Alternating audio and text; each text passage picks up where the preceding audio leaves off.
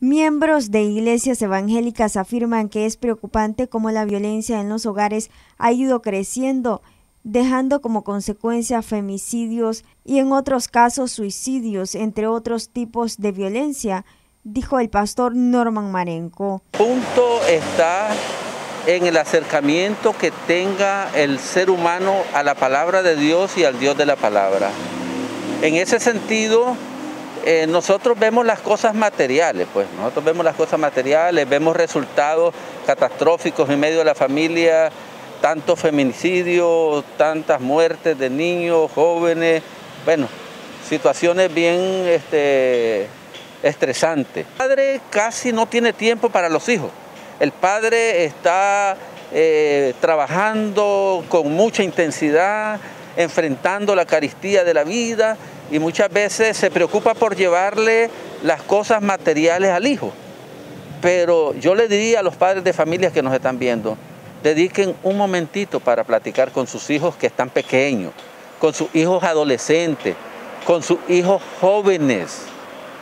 Yo he tenido la experiencia, pues mis hijos son mayores ya, pero yo platico con ellos, yo converso con ellos, les pregunto cómo les va, y ya, ya ellos son personas que tienen hijos pero a veces el padre no se acerca.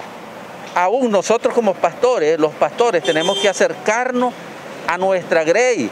El sacerdote tiene que acercarse a su grey también. Entonces, el punto medular está en el acercamiento que tengamos como familia a Dios. Marenco manifestó que esta situación se debe a diferentes factores y uno de ellos es que se ha perdido la comunicación entre padres e hijos. El, cada día tiene su propio afán, pero la comunicación, como tú dices, es fundamental.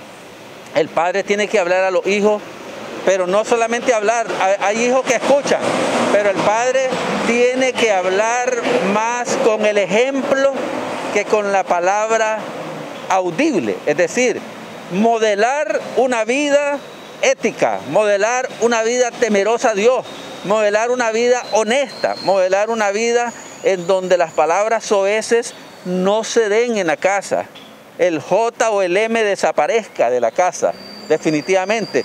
Y hay que acercarse a los hijos, hay que estar con ellos, hay que hacer vida de familia. Noticias 12, Darlene Telles.